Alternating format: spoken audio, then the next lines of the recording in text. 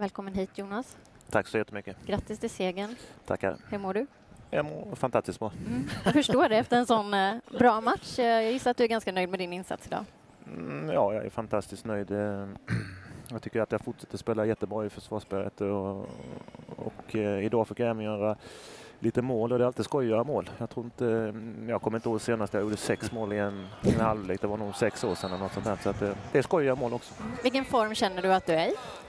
Jag känner mig i en bra form och mm, som, som många vet så hade jag ett tungt år när mitt, mitt, mitt klubblag för en, en, två säsonger sedan blir det nu gick i konkurs och sen blev det lite ja, hem till Sverige och sen ner. Men nu känner jag mig jätte, jättebra och känner mig trygg i spelet i, i Ungern och ja, jag tycker det fungerar bra i landslaget också. Mm. Det kan man ju verkligen hålla med om, eller vad säger du? Ja, absolut. Eh, nu tittar vi på de sex målen. Jag tycker framförallt uh, våra försvarsspel med, med Jonas där också är väldigt tryggt för oss som sitter där. Eh, och det gör han ju väldigt bra. Så vi inte bara tittar framåt. Jag tycker att försvarsspelet som eh, Jonas har presterat nu de första tre matcherna är, är riktigt bra.